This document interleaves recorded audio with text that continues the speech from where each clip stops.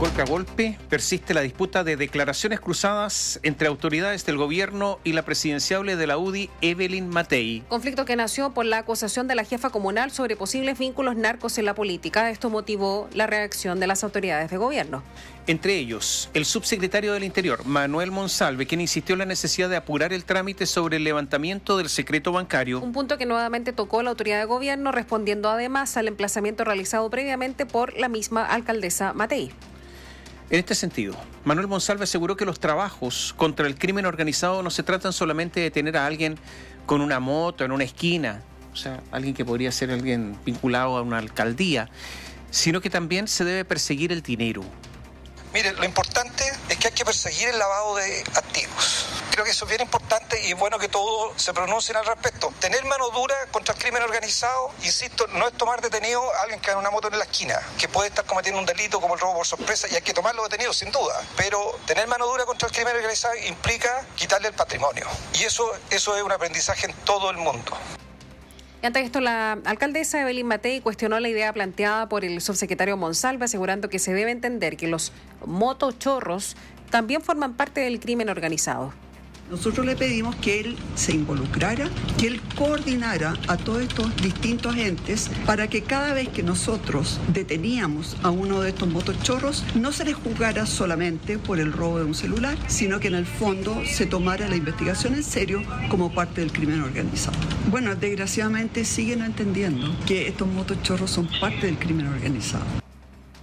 Por otra parte, lo cierto es que la propuesta de levantamiento del secreto bancario genera reticencias en algunos sectores de la derecha. Por ejemplo, el senador y presidente de la UDI, Javier Macaya, planteó que no quieren que un funcionario político nombrado por el gobierno de turno pueda saber cosas como la compra que alguien hace en el supermercado. Al respecto, la diputada frente amplista Gael Jomans afirmó que el debate no está enfocado en ese punto, mientras que su par UDI, Cristian Lavé, insistió en que el poder para determinar en qué casos se aplica la medida no debe recaer en solo una persona.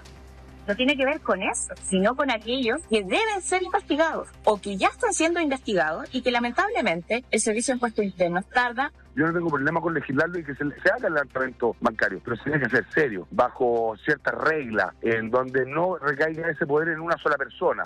Actualmente en el Senado hay dos proyectos que tienen relación con el secreto bancario. Uno, en la Comisión de Hacienda como parte de las medidas que compone el proyecto de ley de cumplimiento de obligaciones tributarias y otro en la Comisión de Seguridad relacionado a la inteligencia económica. Cuatro veces le ha respondido la alcaldesa de Providencia y sabemos también figura presidencial de la UDI, Evelyn Matei, al gobierno durante la última semana.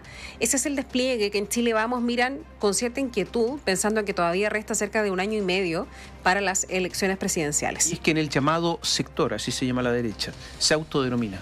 Todavía no hay claridad de cuánto se debería exponer a la carta mejor posicionada de la oposición y si bien algunos tienen una buena evaluación de que se involucren en algunos temas como seguridad, por ejemplo, recalca que no debería implicarse en las negociaciones por las municipales, ya que es un tema que deben resolver las directivas y que podría afectar negativamente a la alcaldesa, lo cuenta el diario La Tercera. Al respecto, Matei dijo que la carrera por la moneda no mete ruido ni tampoco incomoda. Dijo, nosotros estamos preocupados de lo que está sucediendo con nuestros candidatos a alcaldes, a gobernadores.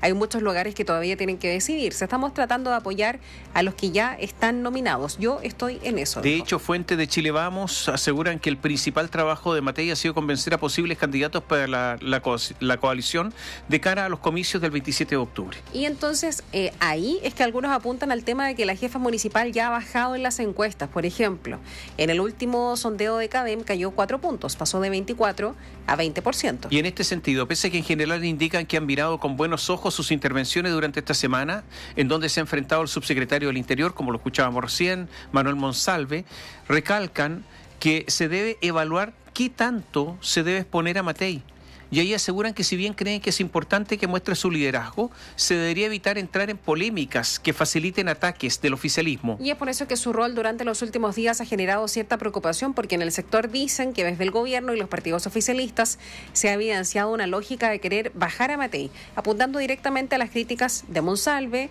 quien desmintió, recordemos, lo que estábamos revisando, ¿no? A la alcaldesa después de que acusara de la entrega en 2023 de un informe con 75 nombres de venezolanos que pertenecen pertenecerían al crimen organizado y entre ellas, según dice la alcaldesa y lo niega el Ejecutivo, se habrían entregado antecedentes de detenidos involucrados en casos como el crimen del exteniente venezolano Ronald Ojeda. Ninguno de estos nombres está en el listado que nos entregó la alcaldesa Matei y cuestionó el subsecretario Monsalve y apuntó que por lo tanto, si es que ella dice que tiene el nombre de alguien que participó y que no son estos tres, estos tres no están en el listado, tendría que darlo a conocer. Y hay, bueno, hay varias reacciones respecto a este despliegue de la alcaldesa Matei. Javier Macaya, por ejemplo, que es presidente de la UDI, dijo en la tercera se nota como toda una lógica de ataque a la figura mejor posicionada en el país y en las encuestas que es Evelyn Matei. Y agregó que es curioso que se genere una trenza política cuando estamos hablando del principal problema que tiene Chile, que es el crimen, la inseguridad que sienten los chilenos. Y si una alcaldesa que dentro de su gestión en los últimos ocho años particularmente ha demostrado un compromiso muy serio con el tema del combate del delito, del narcotráfico, de los motochorros, ha sido parte importante de los sellos de su gestión, pone a disposición esa colaboración, recibir el ataque del oficialismo, a mi juicio, son ellos los que caen en una lógica política y además se van por el lado una cuestión que es falsa, de una supuesta oposición a lo que son las normas del secreto bancario. Andrés Longton, de Renovación Nacional, diputado, dijo, es un activo de Matei poder decir las cosas por su nombre, enfrentarlas con franqueza. Y en su rol de alcaldesa de Providencia conoce perfectamente lo que está pasando con la delincuencia, tanto en su comuna como en el país.